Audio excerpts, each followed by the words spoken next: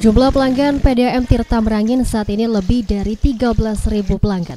Setiap pelanggan dikenakan biaya kebersihan sebesar Rp5.000 setiap bulannya.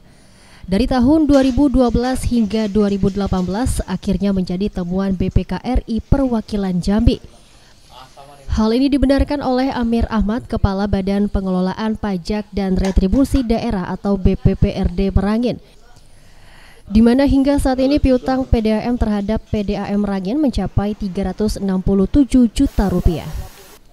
Amir menambahkan soyokianya jika jumlah pelanggan hampir 14 ribu tersebut, jumlah PAD yang distor oleh PDAM sekitar 66 juta rupiah per bulan.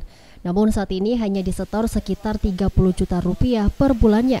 Karena per tahun target dari biaya kebersihan yang dititip pada PDAM hanya sebesar 365 juta rupiah.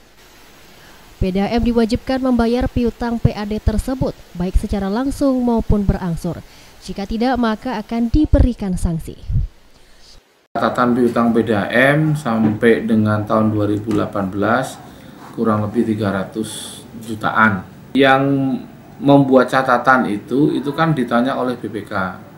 Kemudian ditelusuri piutangnya dari PDAM itu berdasarkan jumlah pelanggan yang membayar itu ternyata ada piutang yang sebesar itu dari tahun 2012.